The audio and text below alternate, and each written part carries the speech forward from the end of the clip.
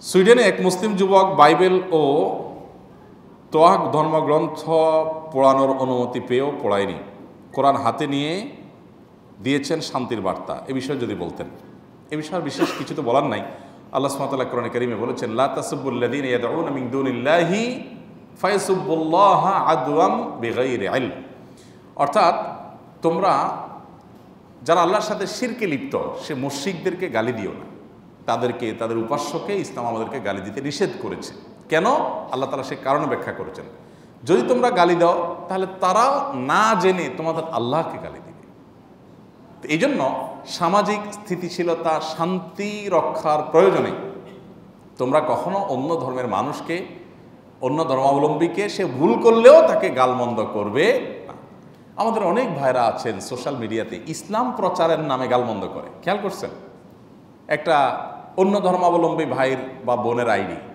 সে হয়তো এমন কোনো মন্তব্য করছে, মন্তব্যটা আপত্তিকর। ওখানে যা নিচে লিখলেন একটা এমন শব্দ যেটা মুখ উচ্চারণ করতে চাই না। একটা গালি। এটা কি ইসলামের শিক্ষা?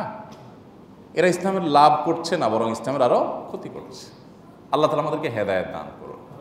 মুসলমান, গালিবাজ, এই অশ্লীল উক্তিকারী, এটা কখনো মুসলমান এর চরিত্র হতে পারে না।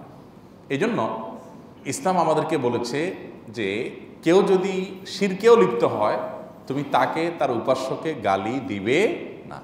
অনেকেই আমরা এই কাজগুলো কিন্তু করি না জেনে। আলহামদুলিল্লাহ, সুইডেনের এই ভাইয়ের কথা আমি জানি না, যদি এরকম ঘটনা সত্য হয়ে থাকে, তিনি ভালো কাজ করেছেন। তারা আমাদের কোরআনে আগুন পুড়িয়েছে, এই জন্য আমরা তাদের ধর্মগ্রন্থে আগুন পোড়াবো না। সঠিক হোক আর ভুল হোক, আমি শান্তির প্রয়োজনে সেখানে আগুন দেব না। আপনি জানেন ইসলাম অন্য ধর্মাবলম্বীদের উপর আমাদের কত সতর্ক থাকতে বলেছে।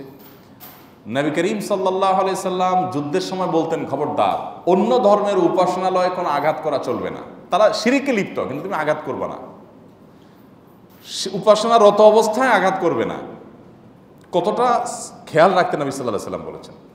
এবং আল্লাহ সুমাতালা বলেছেন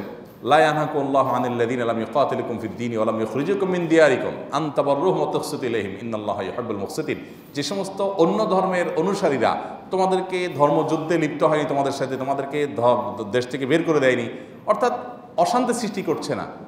তাদের সাথে ন্যায়নিষ্ঠ আচরণ করতে আল্লাহ তোমাদের নিষেধ করেনি না, বরং আল্লাহ ন্যায়নিষ্ঠ আচরণকারীদেরকে ভালোবাসা এই জন্য ইসলাম সবসময় শান্তির বার্তা দেয়।